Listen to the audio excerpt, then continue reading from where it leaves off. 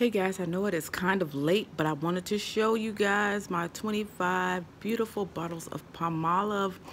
Look at those pretties. Here's the sale. It's at Meijer's. We have a buy five, save five.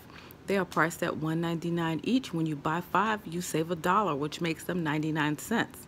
Now, on the app, there is a dollar off of each bottle of Palmolive mPerk, which is like a digital coupon that you would have at Walgreens or CVS.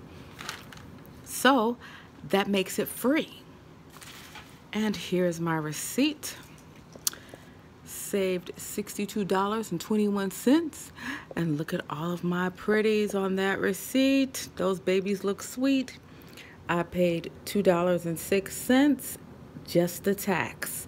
They were all free and the truck had came in i went in about 9:30. they were unloading the truck and these beautiful three boxes were just sitting there and i took them yes i took them i do not feel sympathy for anyone i've been looking for these since last thursday our week is from Thursday to Wednesday, so tomorrow will be the last day. I will go in again at 9:30 and get me three more. I have three accounts with that coupon, and I have a rain check for 40.